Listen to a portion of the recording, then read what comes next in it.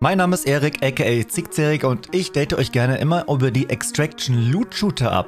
Heute geht es aber speziell um den DMZ-Modus, denn wir haben neue Leaks und das betrifft ausschließlich DMZ.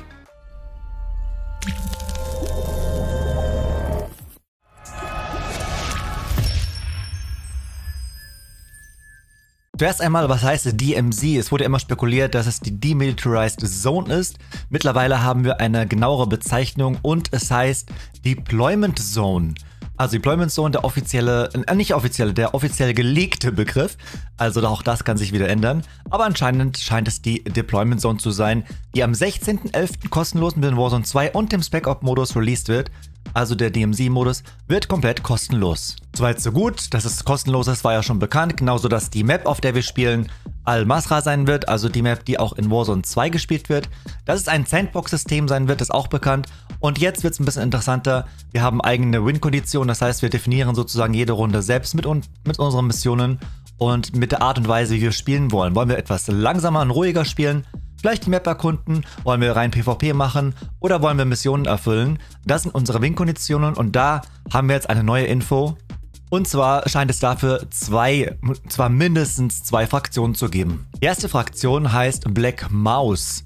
Und die Black Mouse ist zuständig für die Erkundung der Map und für das Bereisen der Map. Das heißt, die Black Mouse wird uns Aufgaben geben, wie zum Beispiel äh, betrete die und die Station, das und das Gebiet, halte dich da und da auf, geh dort und dorthin, bereise äh, so und so viele Kilometer, packe einen Rucksack voll und geh mit einem vollen Rucksack raus.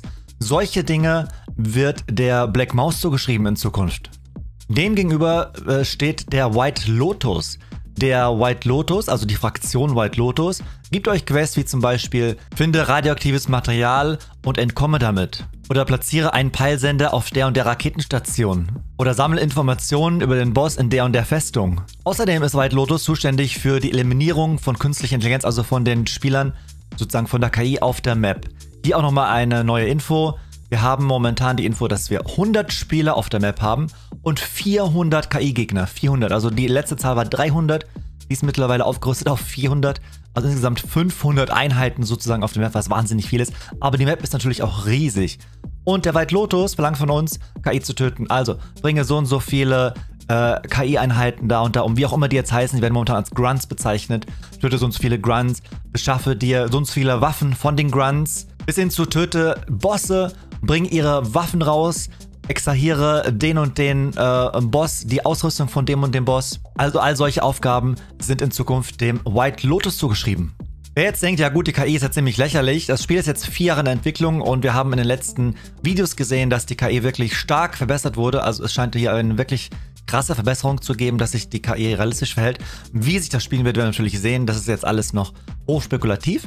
Aber dass die KI gut funktioniert, ist eine Grundvoraussetzung, dass der DMZ-Mode gut wird. Kommen wir zu einem absolut entscheidenden Punkt und zwar das Loot-System. Äh, wir reden ja von einem Extraction-Loot-Shooter. Ähm, wir müssen hier unterscheiden. Extraction-Shooter sind zum Beispiel Shooter wie Hunt Showdown. Äh, Loot-Shooter sind zum Beispiel Shooter wie Destiny. Und wir reden von einem Extraction-Loot-Shooter. Das sind Spiele wie Escape from Tarkov und The Cycle Frontier, Marauders. Das sind momentan eigentlich die drei einzigen Loot-Shooter, die es so richtig gibt. Äh, Dead Drop ist noch in der Entwicklung von Dr. Disrespect. Ja, und der DMZ-Modus. Äh, eine Sache fehlt noch. Und zwar Lost Light, aber das ist nochmal ein anderes Thema. Jedenfalls, was diese Extraction Loot Shooter ausmacht, ist eben, dass es ein Extraction-System gibt, also dass Leute erstmal alles verlieren, wenn sie sterben, High Risk, High Reward, dass sie gewisse Ausgänge zugeordnet bekommen, die sie erreichen müssen, unabhängig davon, was sie in der Runde machen, ob sie PvP machen, alles niederschießen, was sammeln oder die Map erkunden, das ist komplett einem selbst überlassen. Das gibt einem die Freiheit bei diesen Extraction Loot Shootern und dass eben Loot zu sammeln ist, der auch eine Bedeutung hat, der ein System hat, also dass man Loot nicht einfach nur sammelt, damit man die nächste Waffe nutzen kann, sondern Loot, mit dem man seine Basis ausbauen kann, mit dem man vielleicht handeln kann, dass man für Missionen braucht, mit dem man was craften kann, also auch ein Crafting-System. All das setzt sozusagen ein komplexes Loot-System voraus und definiert am Ende den Extraction Loot Shooter. Jetzt ist halt das große Fragezeichen im DMZ-Modus, ist es wirklich auch ein Loot-basiertes System und wir wissen, dass es Rucksäcke geben wird. Das wussten wir bereits aus dem äh, Warzone 2-Modus. Ähm, allerdings haben die Leute da gesagt, ja gut, Rucksäcke sind ja nur dafür da, dass man mehr Munition äh, tragen kann. Also es ist ja kein richtiges Loot-System. Mittlerweile wissen wir aber, äh, durch Leaks, Vorsicht, dass es ein sogenanntes Kachelsystem geben wird. Das bedeutet, Die Rucksäcke im DMZ-Modus scheinen kleine Kästchen zu haben, in denen man Items Tetris-mäßig wie in Escape from Tarkov reinlegen kann. Das bedeutet, beispielsweise eine Waffe hat zum Beispiel zweimal drei Felder und diese Waffe muss eben Platz im Rucksack oder im eigenen Inventory finden. Was auch dafür spricht, dass dieses Spiel ein komplexeres Loot-System hat, ist, dass es einen Flea Market geben wird wie in Escape from Tarkov. Das heißt, irgendeine Art Handelssystem, in der Items abgegeben und verkauft werden können, woraus äh, also wahrscheinlich an andere Spieler sozusagen wie bei Escape from Tarkov äh, Items werden reingestellt und können an Höchstbietenden dann verkauft werden, beziehungsweise zu festen Preisen dann, je nachdem was der Markt gerade hergibt, reingestellt werden und von anderen Spielern gekauft werden. Also ein richtiges ökonomisches äh, System, welches sich primär um, um dieses Loot-System äh, dreht. Wenn das so kommt, dann haben wir unsere Definition 100% erfüllt, weil die Missionen in Kombination mit diesem Loot-System dann wirklich am Ende des Tages einen Extraction-Loot-Shooter definieren. Was wir auch wissen, ist, dass die Spieler mit einem festen Loadout in eine Runde reingehen. Und zwar können sie sechs Items mitnehmen. Das sind zwei Primärwaffen plus Extras. Leider gibt es hier auch die äh, Option, einen Killstreak mitzunehmen.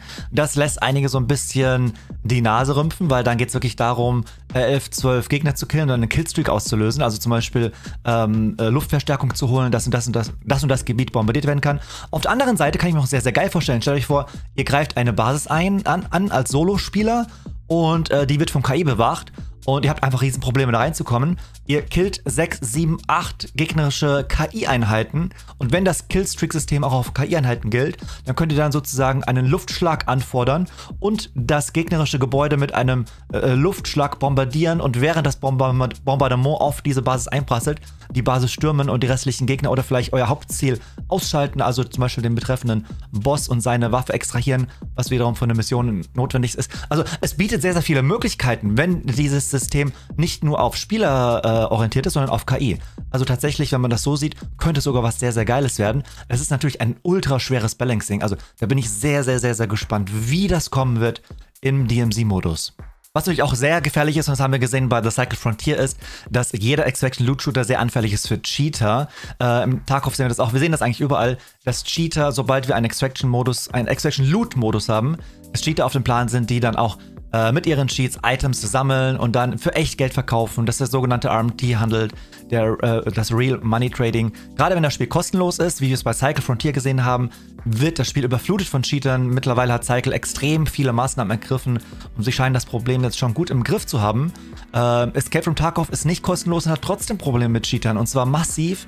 Also das ist immer sehr, sehr anfällig für Cheater und im DMZ-Modus erwarten wir nichts anderes. Also was ist hier äh, die Maßnahme gegen Cheater. Bisher wissen wir nur von dem Anti-Cheat-System, das sogenannte Ricochet-System. Ricochet wird eingesetzt, ist bereits eingesetzt im Warzone-Modus. Ähm, die Profis aus Warzone können das besser beurteilen, wie effektiv das Ganze ist. Jedenfalls ist es momentan auch äh, geplant für den DMZ-Modus. Mal sehen, ob das die einzige Maßnahme sein wird, weil wir wissen, Extraction Loot Shooter schockt massiv, äh, äh lockt mass und schockt äh, lockt massiv Cheater an. Ich freue mich jetzt schon auf die nächsten News zum DMZ-Modus. Wenn ihr nichts verpassen möchtet, haut gerne eine volle raus. Würde mich sehr, sehr freuen. Es motiviert auch sehr, sehr, sehr, weitere Videos zu machen. Ich bleibe auf jeden Fall am Ball, so oder so. Und sage an dieser Stelle Tschüss und auf Wiedersehen. Bis zum nächsten Mal. Und bis dahin bleibt gesund und sauber. Hasta luego und hasta la vista.